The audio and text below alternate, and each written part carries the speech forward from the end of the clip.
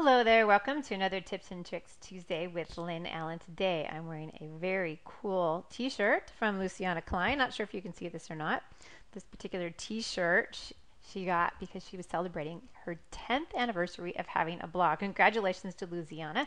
Thank you so much for this t-shirt. I got to see her a couple weeks ago at AU Brazil. And to you, I just want to say, muito legal, right? okay. So, but let's get down to business. So today I'm going to be talking to you about how to make bubbles, right? How to put circles basically around your text. I'm going to show you two different ways. We'll show you how to do it with M leaders and I'm also going to show you how to do it with a really nifty Express tool so you can take your pick, all right? So let's start off with M leaders. So I'm going to go to the Annotate tab on the ribbon, and I'm going to click on this arrow down here because the first thing that we need to do is create a style that supports bubbles, right? So I'm going to make a new style. Let's go ahead and just call it bubble. Easy enough. And the key here is to go to the very last tab where it says content because this is where I'm going to tell it what type of multi-leader I want to use and I want it to use a block. Now one of the great things about AutoCAD is it comes with quite a few blocks that we can use including a fabulous circle one.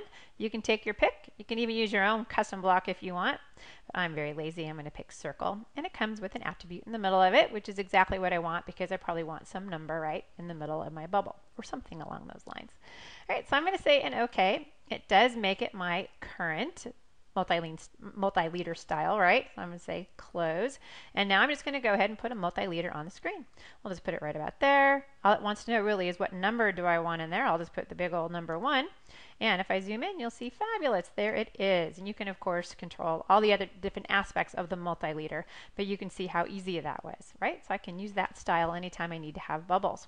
All right, let's go about this slightly different approach. I happen to have some numbers hiding somewhere in here. There they are. These are a little bit bigger than my, my other ones. And I just want to put some circles around those. Cool Express tool called T-Circle. I'm going to go ahead and grab it from the ribbon though, like a good girl. Right here, enclose in object, T-Circle. Oh, that's easy. I'm going to go ahead and select that. And then it just wants me to pick one or more objects that I want to enclose, in this case with a circle. So I like this one because I can be really lazy. I can pick a whole bunch of objects at one time.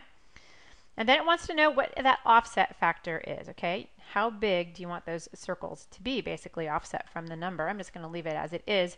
You, and you can pick from circles or from slots or from rectangles. So once again, I'm going to use circles because I want a bubble, but you could choose whatever you wanted.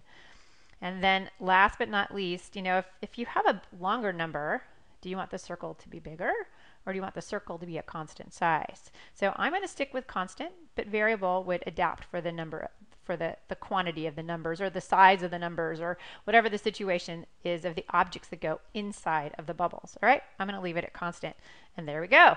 Pretty simple, pretty straightforward. So there's two different ways to create bubbles inside of AutoCAD, either with T-Circle or by using the multi-leader command and setting a style. All right, so on that note, thank you so much for joining me, and I'm going to see you back here in two more weeks. And one more congratulations to Luciana.